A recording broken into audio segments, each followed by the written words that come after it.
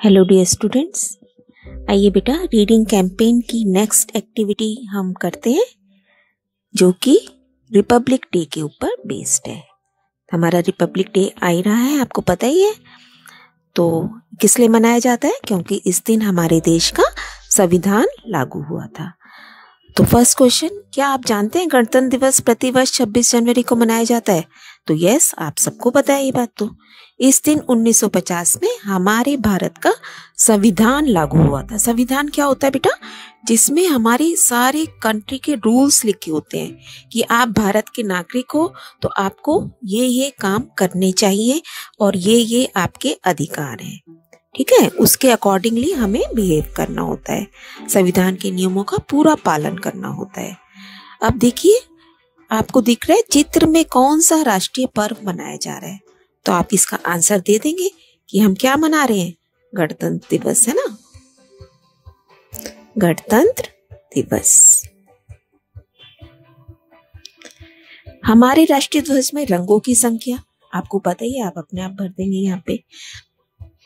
Hello.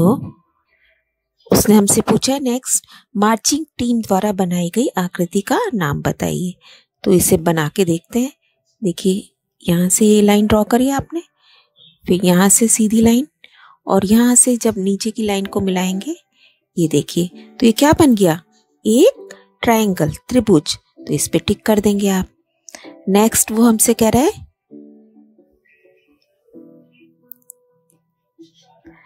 ये देखिए, ऊपर दिए गए चित्र की मदद से दिए गए ध्वज में रंग भरिए। यहाँ आपको फ्लैग दिखाई दे रहा है, आप इसमें कलर अपने आप करेंगे।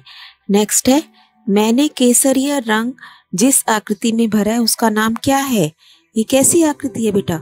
यहाँ पे जब आप कलर करेंगे, ऊपर होता है ना केसरिया तो हम लिखेंगे यहाँ आयत है रेक्टेंगल हरा रंग जिस आकृति में भरा है, वो भी आयत है रेक्टेंगल नीला रंग, वो कैसा है? जबकि नीला यहाँ पे करेंगे आप, है ना? तो नीला रंग क्या है वो? एक वृत्त है सर्कल है। नेक्स्ट देखिए, नीचे दिए गए चित्र में वेरी इंटरेस्टिंग वर्ग, आयत, वृत्त और त्रिभुज गिनी है बेटा। तो आप देखिए, हम इसको करते हैं। वृत्त गिनते हैं सबसे पहले, वृत्तों की संख्या। ये देखिए, एक इसका फेस है और दो आईज भी दिखा रखी है। तो तीन हो गए ना यहाँ पे? ऐसे ही इसमें देखिए, यहाँ पे भी तीन हो गए। फेस के अंदर के दो आईज के और एक उसका हेड यहाँ पे ये तीन और तीन छ ये सात, यहाँ पे आठ, नौ, दस, ग्यारह, बारह, तेरह, चौदह, पंद्रह। पंद्रह और फिर से तीन, अठारह। अठारह के बाद बेटा, उन्नीस, बीस, इक्कीस, बाईस, तेईस, चौबीस, पच्चीस छब्बीस सत्ताईस। और देखिए, और कोई रह तो नहीं क्या हमारा? तो हम यहाँ लिख देंगे, कितने वृत्त हैं? सर्कल कितने हैं? Twenty seven. इसी तरीके से आप आयत गिनेंगे रेक्टेंगल आयत मतलब जिसकी लंबाई चौड़ाई बराबर नहीं हो, जैसे यहाँ पर है आयत। अगर हम आयत देखें तो ये आयत कहलाएँगे। तो दो आयत हो गए यहाँ पे, है ना? और यहाँ पे हो गए इसके लेग्स बने हुए। तो आप अपने आप गिनिए, ऐसे त्रिभुज गिनिए, तीन साइड जैसे यहाँ बन रहा है, त्रिभुज। ये है त्रिभुज, है ना बेटा? तो ये त्रिभुज है। आप अपने आप देखिए और इन ब्लैंक्स को कंप्लीट कीजिए। आई होप कि आपको मज़ा आएगा इसमें।